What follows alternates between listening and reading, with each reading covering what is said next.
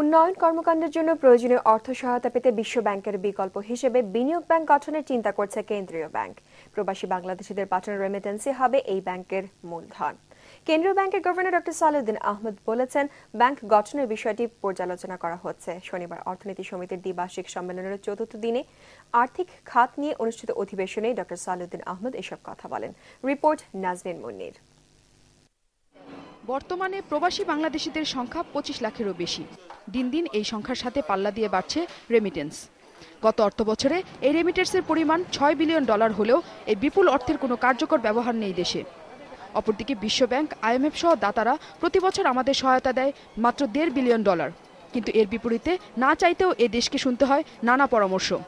সেমিনারে এইসব তথ্য তুলে ধরে কেন্দ্রীয় ব্যাংকের সহকারী পরিচালক জানালেন, দাতাদের অর্থে নয়, নিজেদের অর্থে দেশ গড়ার জন্য ইন্টারন্যাশনাল ব্যাংক ফর এনবিআর নামে ব্যাংক গঠনের প্রস্তাব ইতিমধ্যেই জমা দেওয়া হয়েছে। ওই ব্যাংকটা ডিপোজিট ফেলো, পেল বাইরের থেকে, আবার সে লোন এটা, ওই ফান্ডটা ইউজ করল গভর্নমেন্টকে লোন দিয়ে।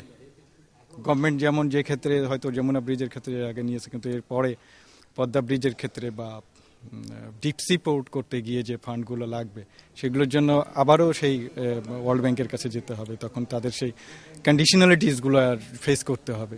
তো তার থেকে আমাদের এনআরবি যারা কষ্টার্জিত পয়সাটা পাঠাচ্ছে, যে প্রপোজড ব্যাংকটার কথা বলছি, তার বোর্ড অফ ডিরেক্টরস তো তারাই হবে এনআরবি গুলো হবে পটেনশিয়াল এনআরবি যারা আছেন।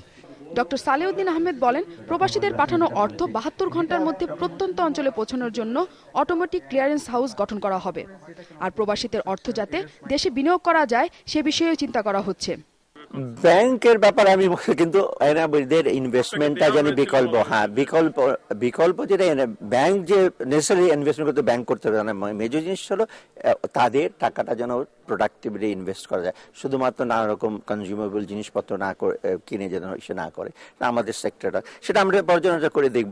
বক্তারা জানান এই ব্যাংক গঠন করা হলে সরকারি যেসব পরিকল্পনা রয়েছে তা বাস্তবায়নের জন্য অভ্যন্তরীণ ব্যাংকগুলোর উপরও নির্ভরশীল হতে হবে না। এতে মুদ্রাস্ফীতির হার কমবে বলেও তারা মত প্রকাশ করেন।